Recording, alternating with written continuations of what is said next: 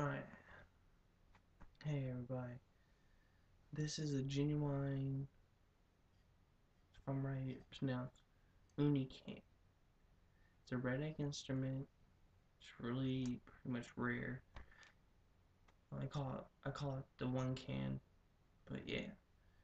It has one can, one string, right here.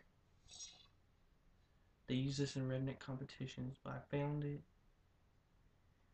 and it's in great condition, but I'm gonna play you a song on it. So here I go.